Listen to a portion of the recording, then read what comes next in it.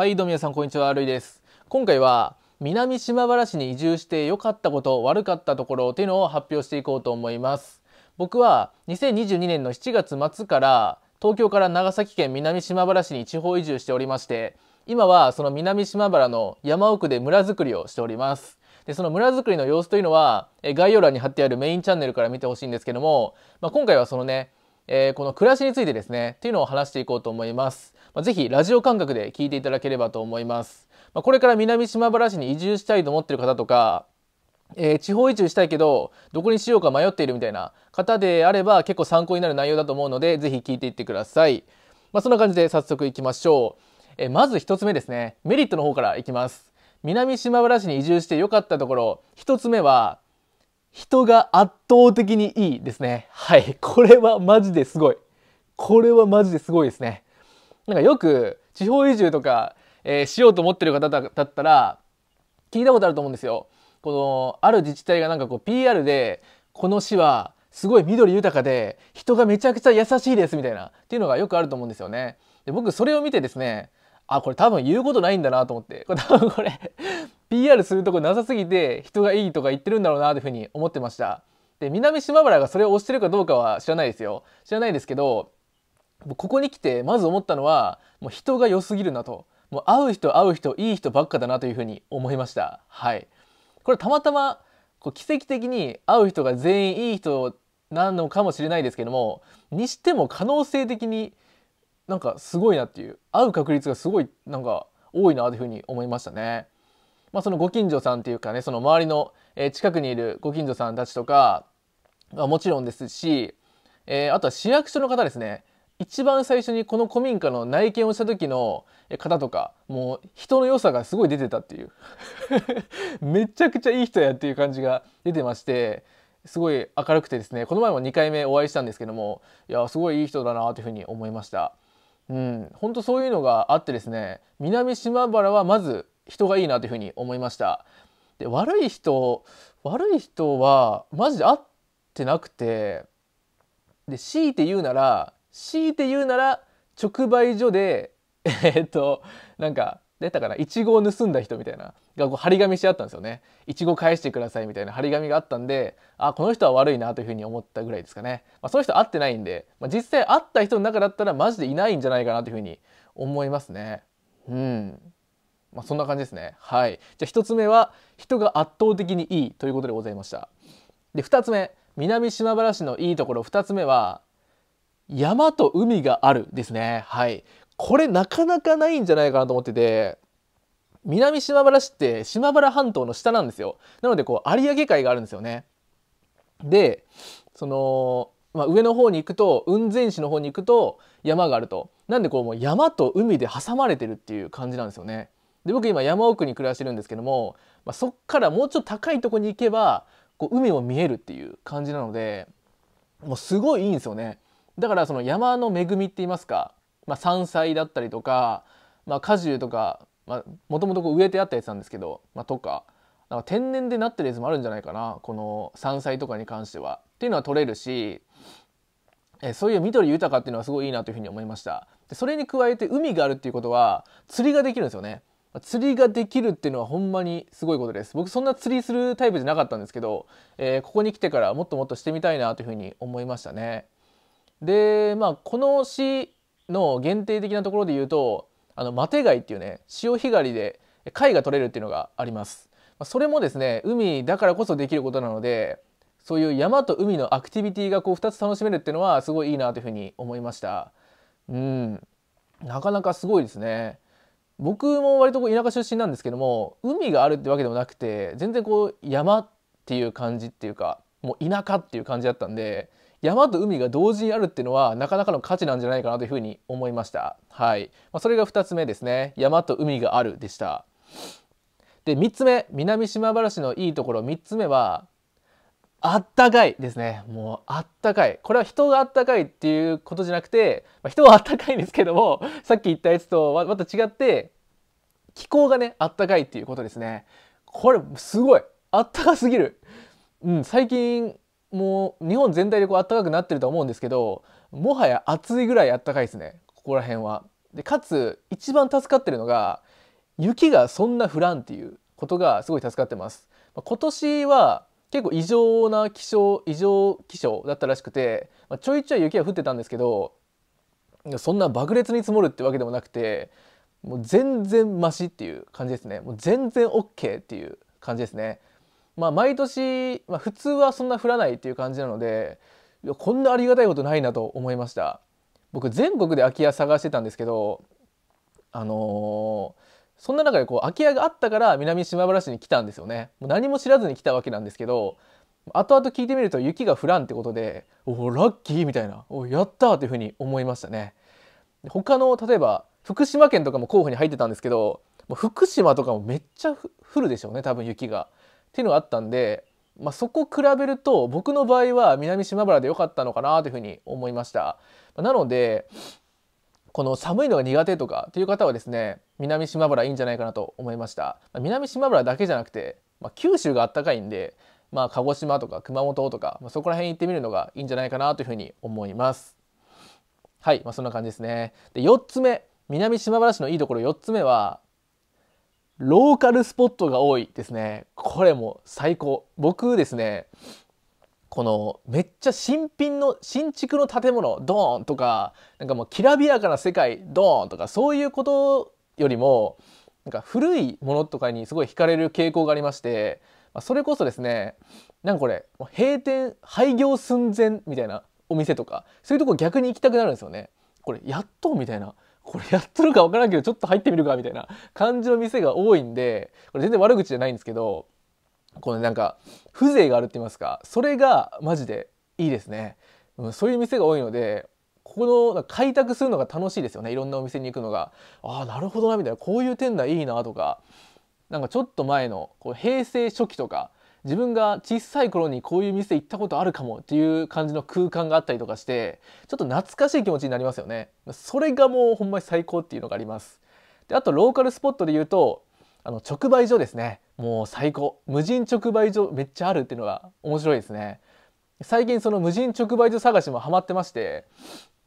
結構ね南島原の至る所にあるんですよ。でその美容師さんに直売所どこにありますかとか聞いたりとかしてて結構ね新しい直売所情報が入ってきてるのでなかなか面白いなというふうに思いますね。はい。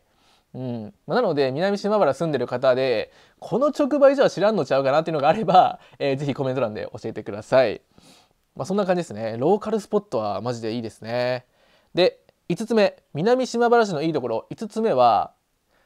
ツーリングが気持ちいいですね。はい、まあ、ツーリングといえばバイクでこうドライブするみたいな、えー、意味合いなんですけどもこれがマジ気持ちいいですね。僕もまあ、えー、小型の 125cc なんですけどバイク所有しておりまして、まあ、それがまあ基本的な移動手段なんですよ。でバイク好きなんでツーリングとかも、えー、過去にすごくしてたんですけどもいやここはすごいですね。ツーリングに向きすぎてると言いますかもう気持ちよすぎるっていうのがあります。たまにこの、え、バイカー集団ライダー集団がバーって通る時もあるんですけどいやまあそりゃ来るわなっていうぐらいすごいいいなというふうに思ってます。何がいいかっていうとやっぱ海沿い走れるっていうのがすごいんですよね。海をめっちゃピカピカしてるんですよ海がこの反射で太陽の。で結構奥までブワーって広がっててで奥の方に若干熊本かなんか天草の辺かなが見えたりとかもあるんであれが熊本かなとかちょっとちょっとこう見つつね運転しつつみたいな感じで楽しむことができますと。いやこれなかなかいいですよね。でさっきの海と山があるっていう話にもちょっと関連するんですけど山道を走りたい人もいるわけですよ。山道も確かに面白くて